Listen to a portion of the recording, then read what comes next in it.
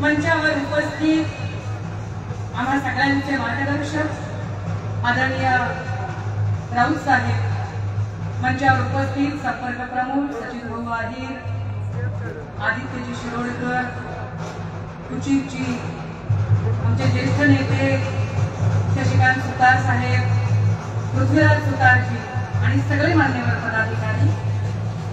मागे आता वाचणारा थांबवलं तर फार बरं होईल. मागे मागे वाजवणारे लोक जरा आता थांबवा. लोकांना ऐकू द्या जरा. हा ऐकू द्या लोकांना शांतपणे. आम्ही समजू शकतो तुमचा उत्साह तुमच्या आनंदात आम्ही सहभागी आहोत पण आता आपण जरा शांतपणे ऐकूया. आज लय अंड्यात आलंय सर तुम्ही आल्यामुळे अंड्यात आलंय.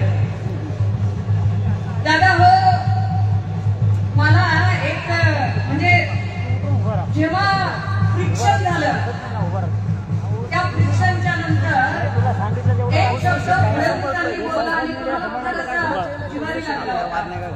आणि त्याचं उत्तर देण्यासाठी फार तळमळीनं आम्ही राज्यभर फिरायचं ठरवलं. तेव्हा ते म्हणाले की शिल्लक सेना आहे शिल्लक सेना आहे. त्यांना प्रत्येक वेळेला मी महाप्रबोधन यात्रेची गर्दी दाखवते. आणि शिल्लक सेनेचा काय नजारा आहे तो नजारा दाखवते मला आज पुन्हा एकदा त्यांना पुन्हा एकदा सांगावं असं वाटतंय. दिवाळ चित्रपटाचा एक डायलॉग आठवतोय की ज्याच्यामध्ये काय शशी कपूर विचारत आहे. अमिताभ बच्चन त्याला शशी कपूरला विचारतोय. गाडी अरे तसं जेव्हा फडणवीस कधी त्या आविर्भावात जे त्यांच्या मनात आहे की मेरे पास देखो सब कुछ है. मेरे पास मोदी जी है शाह है ईडी है, सीबीआई है इलेक्शन कमीशन है। प्रफुल पटेल है, भुजबल है, भावना गांधी है। मेरे पास सब कुछ है। क्या है तुम्हारे पास? हम बड़े फख्र के साथ कहते हैं, हमारे पास संजय राउत है।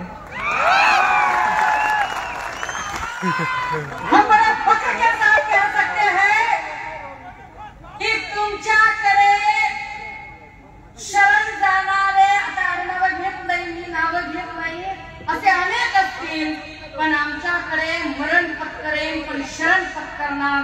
असं सांगणारे सर्वानंद संजय राऊत साहेब आहेत. निष्ठेचं दुसरं नाव ते राऊत साहेब आमच्यासोबत आहेत. आणि तोपर्यंत आम्हाला काहीच कमतरता नाही. कारण खूप साऱ्या शेरा मेंढ्या जमा करण्यापेक्षा असे वाघाचे छावे आमच्यासोबत आहेत. जे आमचं मार्गदर्शन करत आहेत. आम्हाला आमचं काम करण्यासाठी आम्हाला फुटप्रिंट देत आहेत. ते जास्त महत्वाचं आहे. दादा हो कालच्या पत्राचा असर अजून रिक्षा उतरलेला नाही. तेव्हा भाऊनी काल पत्र लिहिलं पत्र लिहिताना त्यांना फार उशिरा उपलब्धी झाली. आणि उशिरा उपलब्धी होऊन ते म्हणाले मला हसायला आलं त्यांच्या म्हणजे आमच्या गावात पण म्हणाले बरं का? करून करून भागले देव पूजेला काय म्हणजे देवा भाऊच्या काय करायचा काय बोलायचं आता? की सत्ता येते आणि जाते पण देश महत्त्वाचा खर तर ती भाजपा फार वेगळी होती. ज्या भाजपामध्ये अटल बिहारीजी सारखे नेते होते जे अटल बिहारीजी एका अटलजी जेव्हा राजीनामा द्यायला उभे राहिले तेव्हा पार्लमेंटमध्ये ते म्हणत होते की मंडी सजी हुई थी. बाजार तयार था. माल विकने के लिए तयार था. मंडी सजी हुई थी, माल बिकने के लिए तैयार था, लेकिन हमने खरीदना उचित नहीं समझा, क्योंकि सरकारें आएँगी और जाएँगी, लेकिन ये लोकतंत्र बचना चाहिए। पण वाजपेयींची ती भाजपा आता राहिलेली नाही। वाजपेयींच्या त्या भाजपाला आता तिलांजली दिलेली आहे आता एका वेगळ्या भाजपाच्या संस्कृतीने जन्म घेतलेला आहे. राजे हो ते नीट समजून घ्या पुन्हा एकदा. वारुळ मुंग्या बांधतात. मुंग्या बारून बांधतात. परंतु जेव्हा संपूर्ण वारुळ तयार होतं तेव्हा त्यात राहायला मात्र मुंग्या नसतात. त्यात राहायला सरपटणारे प्राणी हुशारी प्राणी राहायला येतात. भाजप आणि आर एस एसच्या असंख्य मुंग्यांनी भाजपच्या सत्तेचं वारूळ बांधलं. मला वाईट वाटतं. चंद्रकांत दादांबद्दलही आणि मेधा कुलकर्णींबद्दलही आणि असंख्य लोकांबद्दल ज्यांना ज्यांना देवाभाऊंनी साईडलाईन केलं ज्यांना ज्यांना संपवलं कारण त्या सगळ्या लोकांनी मिळून भाजपच्या सत्तेचं वारूळ बांधलं होतं. पण आता त्या वारुळात त्याच लोकांना राहायचं भाग्य नाहीये. बिचाऱ्या उपाध्याय भंडारी सारख्या लोकांबद्दल तर आपण सहानुभूती वाटते. आणि काही चित्रविचित्र बायकांना बघून नुसतंच हसायला येतं काय करायचं याचं की या माणसांना ती जागाच नाही मिळाली. दादा हो ह्या सगळ्या लोकांमध्ये ह्या सगळ्या सिनोरिओ मध्ये फक्त आणि फक्त स्वतःच्या मुख्यमंत्री पदाच्या अति महत्वाकांक्षी होती.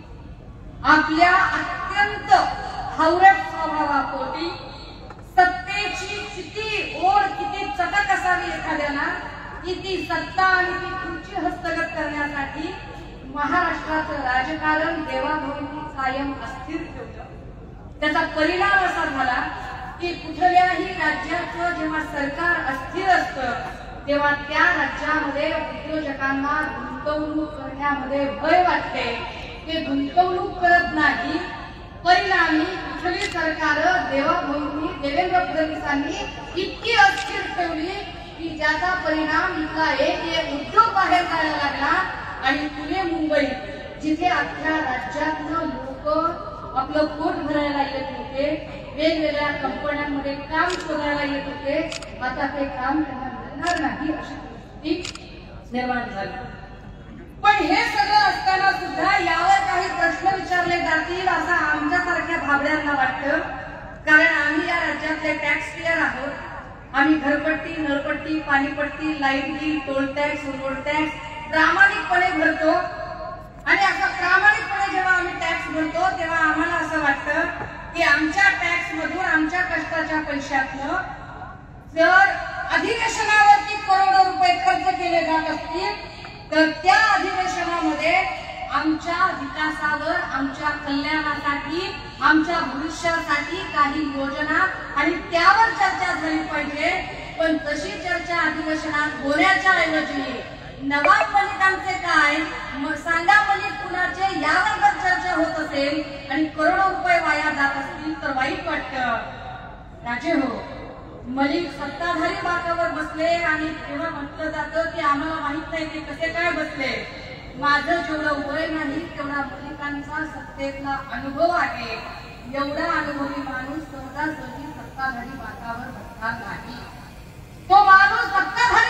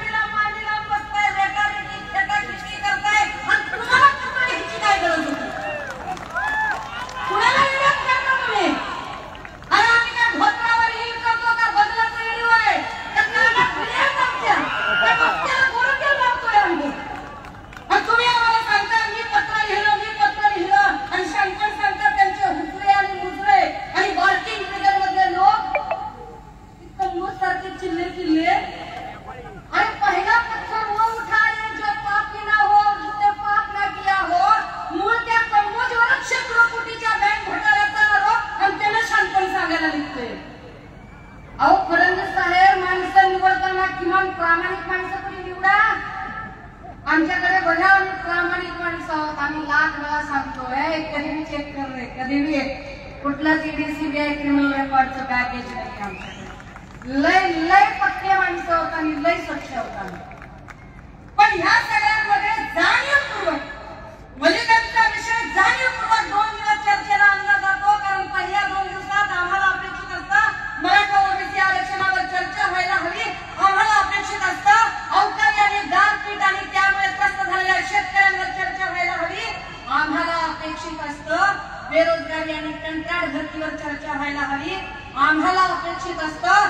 टीईटी घोटाळ्यातल्या तुकाराम सुपेकडं अजून जर पैसे निघत असतील तर टीईटी घोटाळ्याचं काय केलं? तुकाराम सुपेचं काय झालं? अब्दुल सत्तारची अब्दुल सत्तारांची चौकशी कधी करणार आहात? याच्यातल्या चौकशी करणाऱ्या अधिकारी ज्या होत्या नौटके भाग्यश्री नौटके कदाचित नाव विसरत असेल. या नौटकेंना नंतर साईड पोस्ट का दिली गेली जे जे लोक तपास अधिकारी म्हणून काम करत होते त्या त्या प्रत्येक तपास अधिकाऱ्याला ती ती प्रकरणातलं साईड पोस्ट करत का बाजूला केलं गेलं यावर फडणवीस चकार शब्द बोलत नाहीत ललित पाटील प्रकरणात पहिल्या दिवशी जी नावं घेतली होती त्याच्यावर आजही ठाम आहे मी आजही ठाम आहे मी की ललित पाटील प्रकरणामध्ये होय मी म्हटलं होतं डॉक्टर मरसावे डॉक्टर देवकते यांच्यावर कारवाई झाली पाहिजे पण देवकतेंचं स्टेटमेंट नजरेआड करता येत नाही देवकतेंनी स्पष्ट भाषेत सांगितलं मै नाम मात्र. आपल्याच माध्यमातून ऐकलो मी मीडियाच्या माध्यमातून की देवकतेंनी स्पष्टपणे सांगितलं मला बळीचा बकरा केला जाते वर एक मोठा नेक्सस आहे. फडणवीस साहेब तो नेक्सस कधी बाहेर येणार आहे ते सांगा. कारण तुम्ही ससून मधल्या लोकांवरती कारवाई करताय. ससून मध्ये आता फक्त संजीव ठाकूर चौकशी अहवालात संजीव ठाकूर दोषी आहेत हे पक्क झालंय. अजूनही संजीव ठाकूरची अटक का केली नाही? आणि हो संजीव ठाकूर म्हणजे शेवटची कडी अजिबात नाही. त्याच्या पुढचं काय ते बोला कारण ससून मधलं जे काही आहे ते ललित पाटील ससून मध्ये आल्यानंतरचा एपिसोड आहे. मुळात ललित पाटीलला ज्या गुन्ह्यासाठी अटक झाली तो एमबी ड्रगचं प्रोडक्शन त्याचं डिस्ट्रीब्युशन त्याच्या एजन्सी त्याचे एजंट या सगळ्यांशी संबंधित असणारा नेक्सस कधी बाहेर निघणार आहे?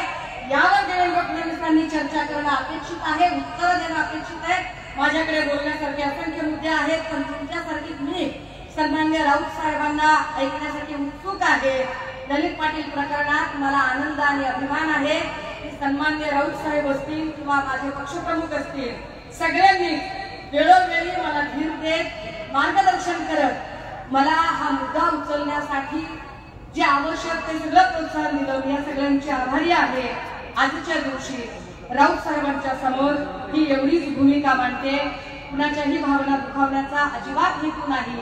पण तरी सुद्धा माझ्या बोलण्यामुळे कुणालाही वाईट वाटलं असेल राग आला असेल उपमंत झाला असेल चुकून मार्कून भावना दुखावल्या गेल्या असतील तर अशा सगळ्यांची यापैकी एकाचीही माफी मागणार नाही. माझ्या मतावर ठाम आहे थांबते रजा घेते. जय हिंद जय महाराज